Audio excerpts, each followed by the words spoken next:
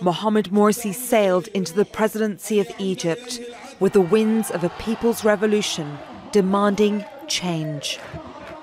In 2012, he became Egypt's first democratically elected president and the first civilian to hold office. Morsi was born in 1951. He spent his adult life first as an engineering professor, then as a member of parliament and a political prisoner. The Egyptian revolution in 2011 set the stage for Morsi to reach the pinnacle of power.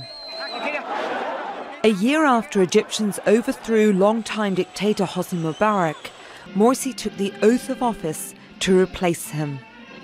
From the start, secular Egyptians were suspicious that Morsi's real allegiance would continue to be with the Muslim Brotherhood.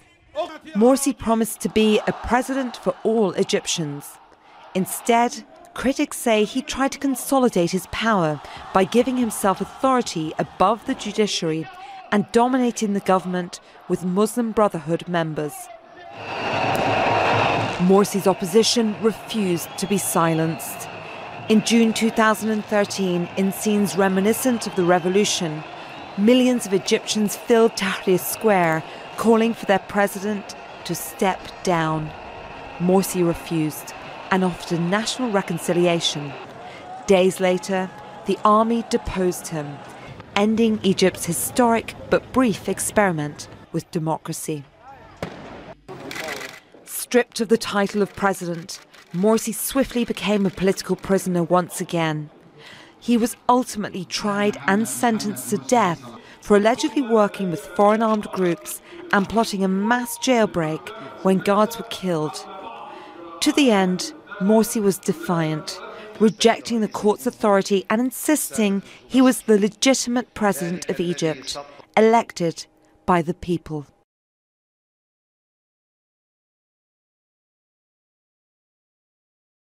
55 year old Joseph Allen was vacationing in the Dominican Republic when on Wednesday night he told his friends he was going back to his hotel room because he felt feverish. He took a cold shower. The next day, he was found dead in his hotel room. That was last Thursday.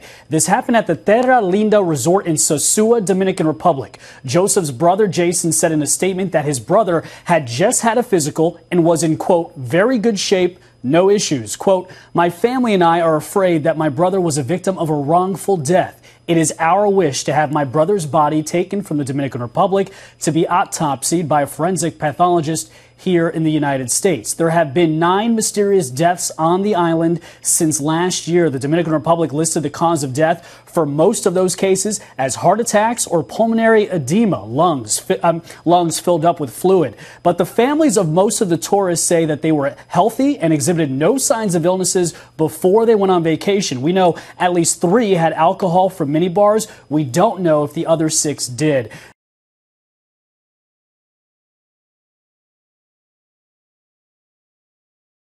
Were shot down over eastern Ukraine five years ago. All 298 people on board Malaysian Airlines flight MH17 killed when the flight from Amsterdam to Kuala Lumpur was hit by a missile. Investigators have blamed Russian backed separatists who they say targeted the plane with a Russian made missile. And the four persons are Igor Girkin, Sergei Dubinsky, Sergei Dubinsky, Oleg Pulatov. Oleg Pulatov and Leonid Kharchenko. And Leonid Kharchenko. Suspects Girkin, Dubinsky, and Pulatov have the Russian nationality, and our information points to the fact that they currently reside in Russia. Suspect Kharchenko has the Ukrainian nationality, and we assume that he resides in eastern Ukraine. And this is an area that is currently not under supervision of the central authorities in Kiev.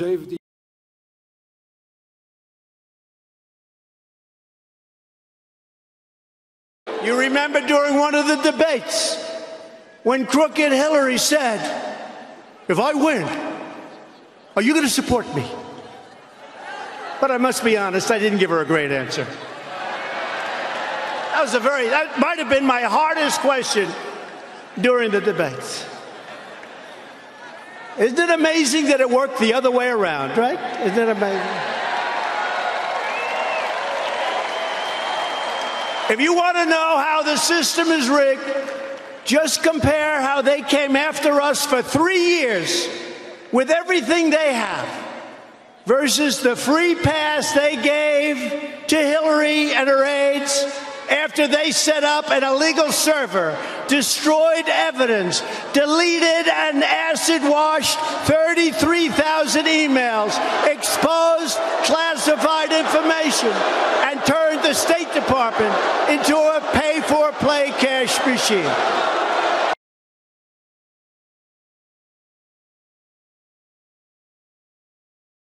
In the Middle East, tensions ramping up between the U.S. and Iran tonight.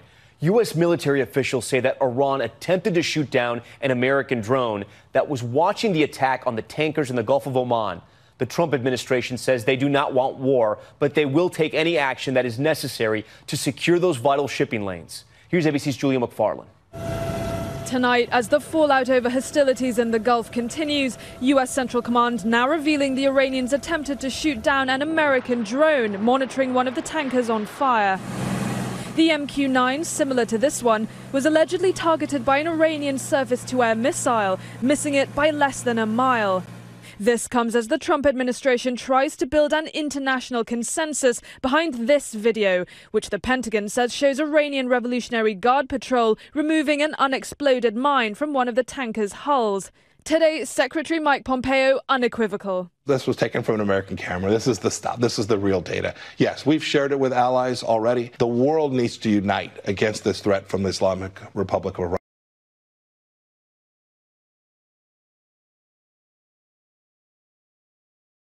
A surprise discovery about the home of the Enlightenment. France now leads the world in anti vaccine sentiment. According to the biggest ever survey on public attitudes toward health and science, 33% of French people do not agree that immunization is safe. British medical charity Wellcome teamed up with Gallup World Poll to survey more than 140,000 people across 144 countries. And this study also found that France has among the highest levels of distrust of government. Experts say this is correlated with skepticism over vaccines. Until the turn of this century, around 90% of French people were pro vaccine.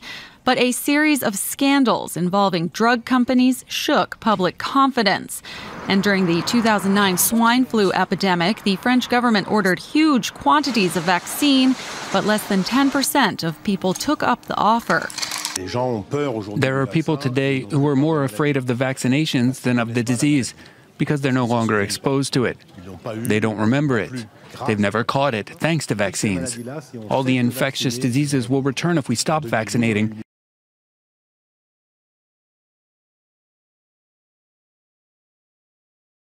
And this evening, we're going to focus on what figures to be the president's signature issue in that address and probably the campaign immigration and border security. We're seeing Air Force One, obviously, right now. Uh, William La Jeunesse is on the border between Mexico and Guatemala with what is happening on this issue there right now. With roadblocks and checkpoints, Mexican National Guard and immigration agents are stopping vehicles, hunting for illegal immigrants. Troops are also staging along the Guatemala border, hoping to thin those already in the pipeline to the U.S. We are working with the U.S. We are working with Central American countries, and the objective is to stop human trafficking. Mexico's policy today is like night and day compared to just seven months ago when it offered humanitarian visas, work permits, and health care. Police filled buses and trucks with immigrants headed to the U.S. Today, they take them off.